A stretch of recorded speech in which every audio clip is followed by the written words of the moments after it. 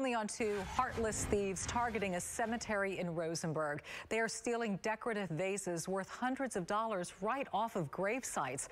Our Jonathan Martinez is at the Davis Greenlawn Funeral Chapel and joins us now with the families who want these guys caught and caught soon. Jonathan? Yeah, Dominique, a pretty frustrating situation. This man tells us he's not just upset because it happened to his loved one, but it appears to have happened to many others who were buried out here. And tonight he's got a message for the cemetery, along with what he believes are thieves anybody on this side, they're secluded. A place meant for comfort and peace is instead leaving some feeling uneasy as of late. Nobody can see what's happening on this side.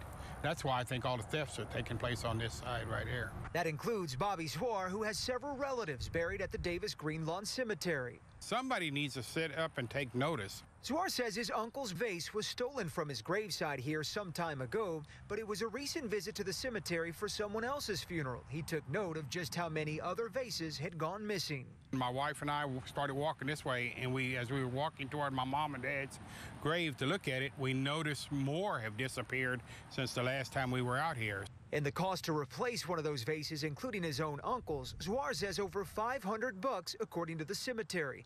Reason enough for him to want them to do something about it.